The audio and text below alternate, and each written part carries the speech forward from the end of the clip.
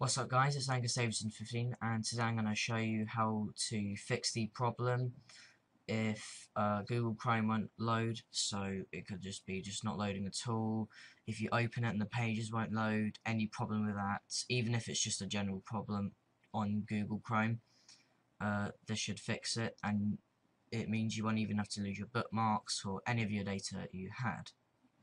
So there's three different steps that I created to uh, fix the problem completely. So the first way is reinstalling Google Chrome. So to do that you want to go and Start, Control Panel, uh, uninstall a program, and then it will come up with all of your applications on your hard drive. And then you want to scroll down and find Google Chrome. You can double click on it or right click on it once and click on uninstall. And then once you've done that it will take you through this quick process. And then you won't have Google Chrome anymore. I would recommend restarting the computer and then uh, opening your second browser and then installing it again. I'll put the link in the description.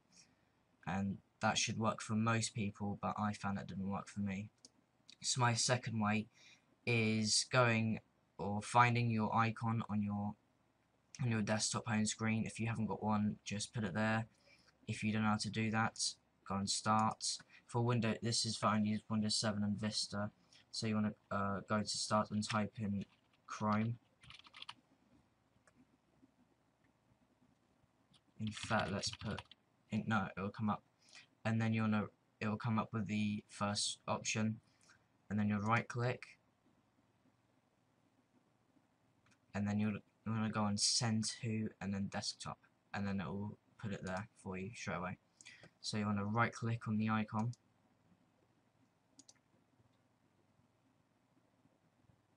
And then you want to, and then it will come up with all of these options. You want to click on properties. And then it will come up with this. You've got general shortcuts compatibility security details and previous versions. You want to click on shortcut for XP and Vista users it might be different, but for Windows 7 this is should how it look. Okay, and then it will come up with this target, and that's the link for the hard drive. So whenever whenever you open Chrome, this is what it um this is what it follows. So you want to select that, and then type in space, and then a hyphen, and then type no and then another hyphen and then sandbox. And then that is it and then you want to click on OK. And then that should work for most users as well obviously I don't want to do that. And then you click on OK.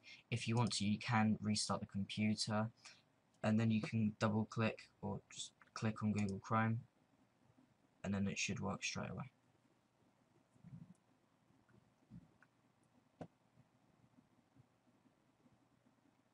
Okay. Now, this is the third option. This is the one I came up with. I spent a really long time trying to work it out, and I finally figured it out. So for this one, it's removing the file completely. It's like installing it, but only when you install uninstall a, a program.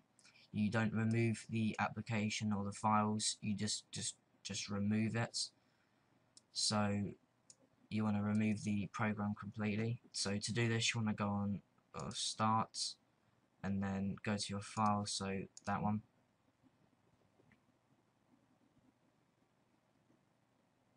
Okay, and then you go to your libraries, and then you want to go on local disk, and then you want to go on user, and then you want to go on your person, so I'm Angus, and it'll come up with these. You want to go on app data. You want to go on local again. And it'll come up with all of these. You want to scroll down. It will show you some applications you have already on your computer. Obviously you want to click on Google. Chrome. User data. And then it will come up with this. Now, if you don't care about your bookmarks or any of your data you've had like that, for example, a background you've put on, um, just delete that straight away. However, if you want to keep all your bookmarks and all of all of the data you've got on Google Chrome, even though it's not working, what you want to do is you want to right click on that entire folder and then you want to save it in your documents so copy and then for example put it in downloads. Um, so I've put it in downloads already and I've got it there. And then that that which is the same folder. And then and then um, what you do is you delete that and then you don't need to worry because that's that's all of it backed up. That's the only important stuff you need. And then you delete that before after you've backed it up and then you delete the rest of the folder. It might come up with error because you need uh, permission but just keep trying. Delete that folder delete that folder etc and then what you want to do is do the same process. So you want to go to your second browser and then install it using the link in the description and then it should work straight away. Yeah I've just realized a mistake that I haven't uh, said in the video, for the third step, if the second did, the second first steps didn't work, um, for copying and pasting, it's pretty simple. Just go to the document and then select default, and then you want to go to the file again, so it's users, and then your person, or your account, and then app data. And then local. And then Google. And then Chrome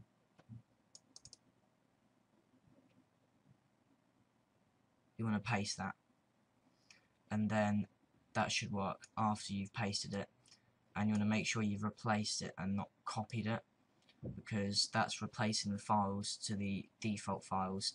And then that will save all of your file all of your bookmarks. If if you don't care about that then that's fine. You don't need to worry about that. But if you want your bookmarks then you need to make sure you replace the files and not copy them or cut them either thanks for watching guys. If you enjoyed this video or it helped you at all please click the like button below